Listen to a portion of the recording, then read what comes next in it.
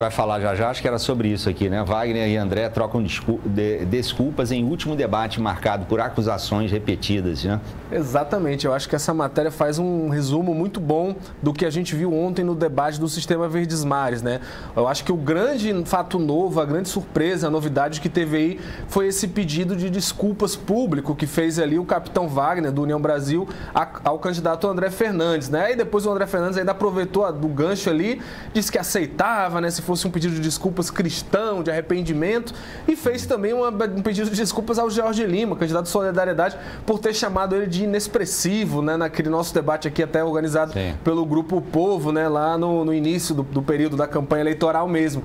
É, e foi a grande surpresa e dividiu muitas opiniões, né, Tardão? Muita gente ficou vendo isso como um sinal quase que de jogada de toalha do capitão Wagner, né, vendo ali que talvez ele fique mesmo de fora de um segundo turno, e outros que não, já tem a análise Acho que ali. chamou de insignificante foi o André Fernandes, né? Que chamou. Exato. Não, não, é. O, o, André pediu. Aliás, o capitão pediu desculpas pro André, o André aceitou e aproveitou e pediu desculpas, desculpas pro George. George. Exatamente. É. E aí, essa questão do pedido de desculpas do André pro cap... Aliás, do capitão pro André, acabou gerando né, esse efeito. Muita gente pensando ali que já foi meio que num tom derrotista, melancólico e tudo mais.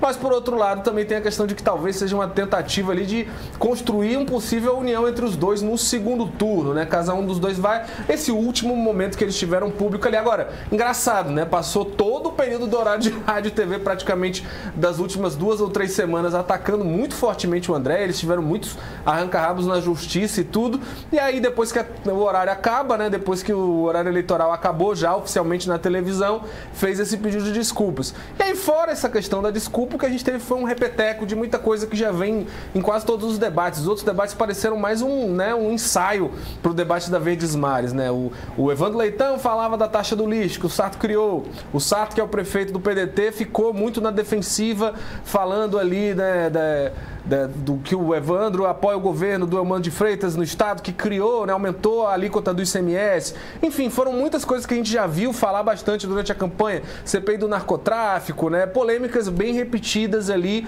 sem muita novidade. E parecia que tanto o André quanto o Evandro estavam muito na defensiva, né? Não queriam criar muitos problemas para eles mesmos, visto que eles já estão é, liderando ali no cenário na maioria das pesquisas colocadas. Então acabou sendo um debate um pouco sem muita novidade para quem acompanha mais tempo, né? Parece que é, todo mundo jogou meio que ali na, na, defesa, meio com receio. Talvez só o prefeito José Sarto foi um pouco mais para ataque, mas até isso não foi tanto, assim, não teve muita novidade. Se esperava alguma denúncia, alguma coisa nova, até porque ele está atrás, né? E aí fica aquela coisa, né? Para eles dois, para o Sarto e para o capitão, talvez não seja tão positivo, né? Porque eles que estavam precisando precisando dar uma chacoalhada no jogo, mudar um pouco o resultado que está se consolidando aí.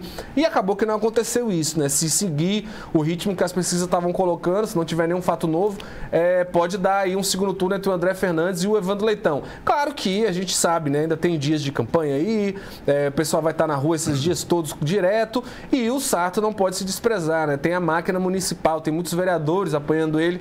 Esse tipo de coisa na hora da eleição faz muita diferença, Tardan. E sendo o André